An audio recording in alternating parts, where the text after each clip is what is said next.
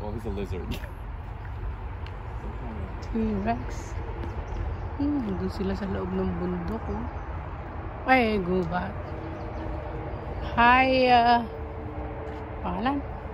Hyliasaurus.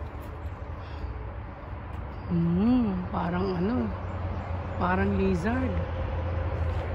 Hylia... Naku, eto malalaki. Nakakatakot.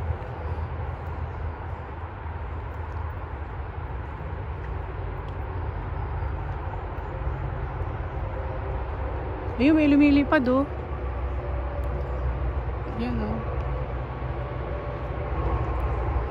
And these ones are the So, may mga lumilipad. Ayan oh. Ito naman, parang mga crocodile. Ang pangalan ay Gastonia. Gastonia. Ayan. At ito, malalaki na to. These are the Hmm.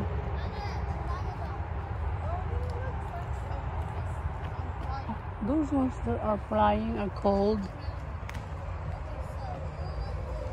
Tyrodactylus. Tyrodactylus. These are the iguanodon.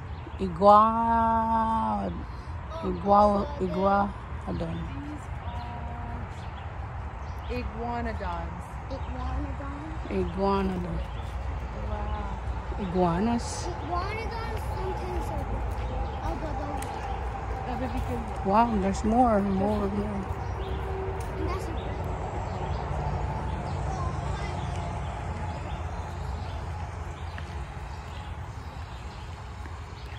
Yun. oh. Ang dami pa doon sa gubat. Yun, they are hiding there. Oh my God. They live there. And these are the Dynan, Deinonychus, Deinonychus. Uy, this one laki.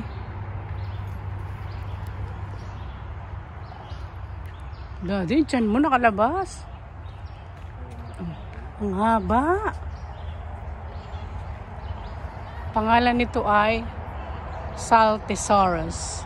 This plant eater, kumakain ng plants. 40 feet from the tip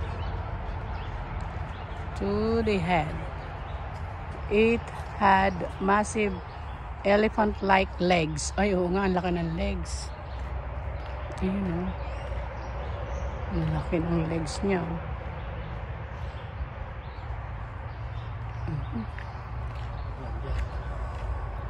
That's wala kayo dito.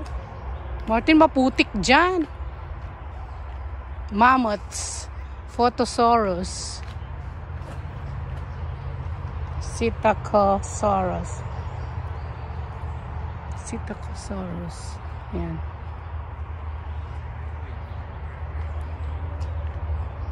Wow. We saw them. Daddy, we saw them. Doon kaya, what is inside there? So are there more dinosaurs there? Uh, there's the mammoths and then the big T-Rex you see from the interstate. Mhm. Alright, can you Ready? Oh, I'm so tired. I'm lazy to go there. Umapo ka. Pagod na pagod ka eh. Ay, talaga. Tulong nga pawis ko. Kala ko pag gusto mo nang naglalakad. There we go. May malalaking yun. Oh, ayun. Oh. Marami pa doon. Ko nga kung ano nando. Maputik eh.